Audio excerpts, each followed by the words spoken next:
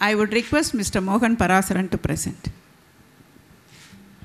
Dear and esteemed Judge Tirumati Vimala, my dear colleague at the bar, Sri Tagarajan, Sri Shankaran, Sri Purushottam, distinguished uh, dignitaries have come from far off countries, and uh, the most dynamic uh, personality behind the conference, Mr. Sampath, who has just said, has single-handedly seen to it that this type of conference is held successfully every year.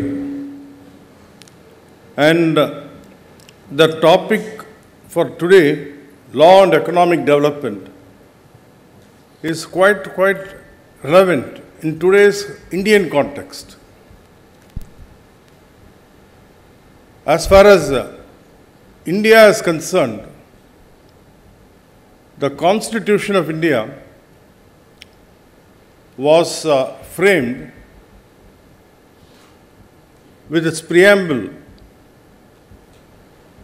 claiming India to be a sovereign social republic.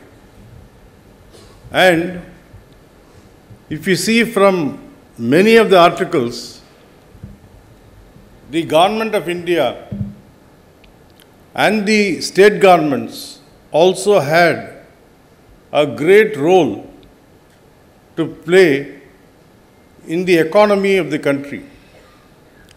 Of course, agriculture was the mainstay for India, but you saw actually many government corporations being created, companies being taken over, banks being nationalized. For instance, petrol pumps, you know, leases being compulsorily being extended in favor of a petrol corporation. Those were the approach of the government I think uh, till the 1980s. And uh, the courts were also primarily concerned with a very different type of disputes, which primarily involved disputes pertaining to property in a family or property rights between a private individual and another private individual, resulting in a specific performance suit or a partition suit, or matrimonial matters, or other conventional civil matters or criminal matters. And very few service matters, labor disputes. But uh, post, uh, I think, uh, 2000, I would say, the entire scenario changed because of globalization. And the government started rethinking. And uh, then actually, the government thought we should actually restrict ourselves to core activities and uh, not concentrate on regular commercial activities, which is the, which is the primary outlook of uh, the private sector and not of the government. We are primarily concerned about the security, national security, law and order, public health, etc. But um, the government has only succeeded to some extent I would actually say that today we are undergoing a very, very, very great economic crisis. Even though the government of the day got a good mandate from the people, but the economy is in a very gloomy state. That is actually possibly because of uh, either faulty implementation of laws or judicial activism which has crossed Lakshman's Rekha. I would in particular refer to the activism of the Honorable Supreme Court in three or four matters which has actually resulted in the collapse of the Indian economy. The very first uh, instance which comes to my mind is that um, the Supreme Court started fixing spectrum prices.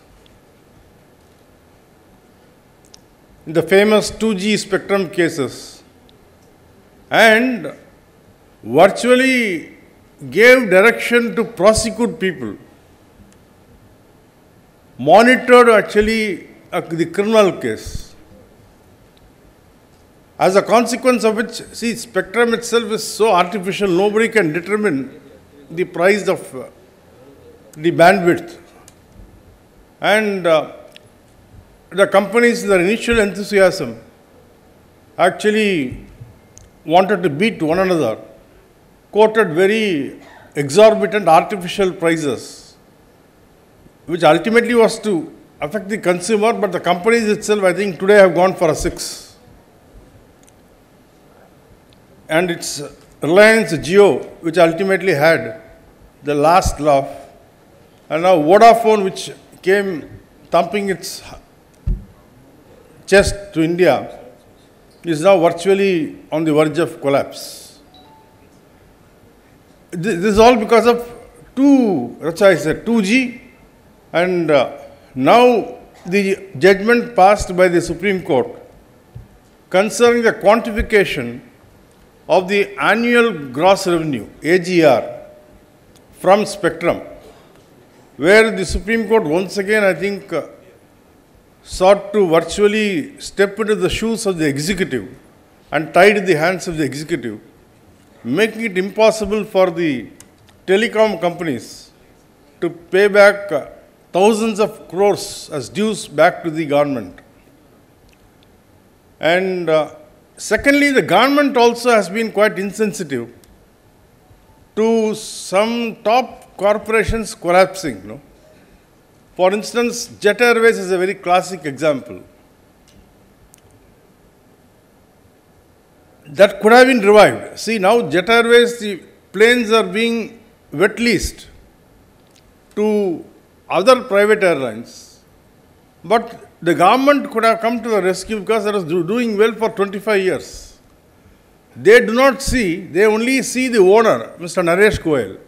But how many employment is lost, how many people lose jobs, it upsets the entire aviation industry.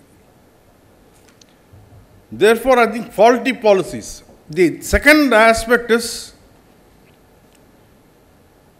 the government, the, this government under the leadership of uh, Mr. Modi, in fact, had a very ambitious scheme of uh, acquiring lands and um, going ahead with great infrastructure, putting the India map globally very high, in a high pedestal, by acquiring lands for putting national highways. But uh, in view of the Land Acquisition Act of 2013, saying that they had to pay a high compensation at market value, and the interpretation passed by the Supreme Court, most of the land acquisition pra- uh, cases came to a virtual standstill, and now, even now, the Supreme Court is now embroiled with a very serious controversy with regard to the interpretation of the 2013 Act and whether proceedings will lapse under the 2013 Act in respect of what was commenced under the old Act, interpretation of section 24.2, and judgment has been reserved by a constitution bench. And depending upon its outcome, we will know whether the land acquisition which were initiated under the new Land Acquisition Act will continue or not. Therefore, what I would actually like to say is, I think uh, we are running through a very critical phase. The courts uh, must also actually realize its importance as well as its limitations. Of course, the Indian Supreme Court has done one of the greatest of services in environmental jurisprudence. Because forests were just abolished left, right, center, trees were cut, and there are large scale encroachments of forest lands, illegal mining. All this were put an end to by the Supreme Court. But even there, the court was trying to go overboard by actually banning actually mining activities for longer duration, banning import of mi- minerals or export of minerals.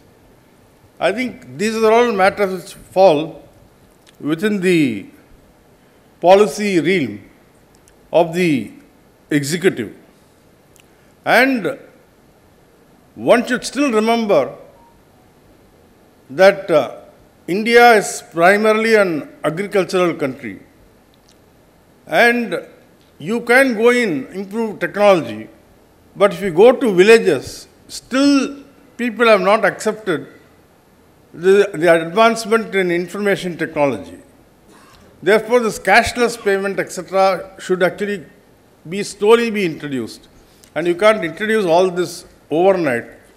And uh, still, I think we should not forget that uh, agriculture is a prime source of livelihood for more than, I think, uh, for 60% of the Indian population. And if we are not going to actually concentrate on that, I think we are not going to improve the country, and whatever attempts to improve the other infrastructure is not going to actually achieve any result. We can't just blindly follow some country because each country has got its own history, its own background. With these words, I sincerely thank uh, the organizers for having given an opportunity and also for the Honorable President, Honorable Justice Vimala, for having given a hint as to how to go about and address all of you. Thank you.